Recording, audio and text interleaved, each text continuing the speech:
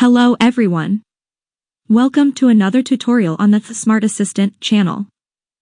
In this guide, we will learn how to enable hiding sensitive content on Twitter. This option allows you to control what appears in search results by filtering potentially inappropriate content. Whether you want to protect your profile from unwanted content or gain more control over your feed, this guide will walk you through the steps to activate this useful option on Twitter. Let's get started. So, open the Twitter application. Now, in the top left corner of the screen, tap on your profile. In the menu, tap on Settings and Support, then on Settings and Privacy. Once in Settings, find the Privacy and Safety option and tap on it. Now, tap on the option labeled Content You See. After that, select Search Settings. And finally, just tap the switch next to the Hide Sensitive Content option and the option will be activated. That's all.